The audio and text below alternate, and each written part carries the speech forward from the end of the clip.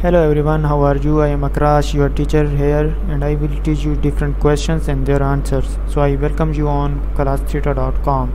So our today's question is What distinguishes a mixture from a impure substance? The answer of the question is a mixture consists of two or more substances that are physically combined and can be separated by physical means such as filtration and distillation. Each component of a mixture retains its own properties and can exist in variable proportion.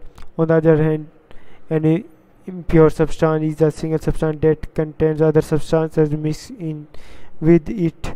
These additional substances are typically present in small amounts and do not change the identity of the main substance. Impure substances are homogeneous mixture and cannot be separated into the original component by physical means.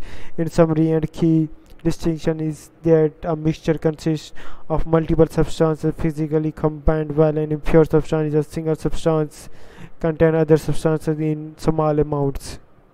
Thank you for watching the video. If you have any question related to this video, please post a comment below. If you have any question in your mind, you can also post on the website and I will be answering you in the next video. Thank you for engaging with us. Until next video, bye bye.